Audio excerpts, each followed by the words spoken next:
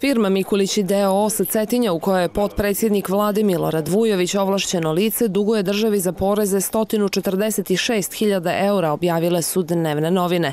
Potpredsjednik Vujović ipak tvrdi drugačije. Od 22.3.2012. godine nemam apsolutno nikakve veze sa poslovanjem, vlasništvom, zastupništvom u firmi Mikulić Mikulić Company koja se nalazi na Cetinju. Toga dana prenio sam svoj dio vlasništva o 100% u skladu sa zakonskim propisima novom vlasniku koji eto ima isto prezime i ime.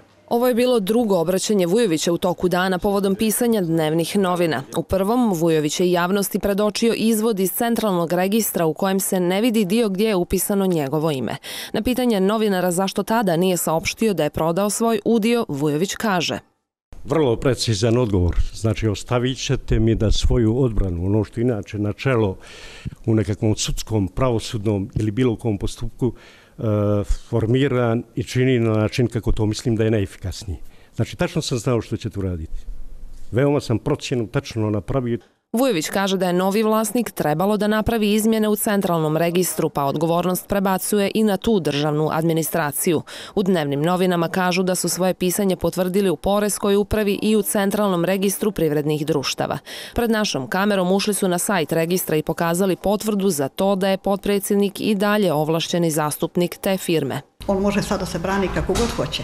On je još uvijek po e, zvaničnim papirima ovlašćeni zastupnik firme. A to što ne zna da je ovlašćeni zastupnik firme, najviše govori o njemu samom. Nažalost, pokriva funkciju kakvu pokriva, a ne zna te podatke. Šofranac kaže da je u registru te firme posljednja izmjena napravljena prošle godine, te da su umeđu vremenu došli do još nekih podataka.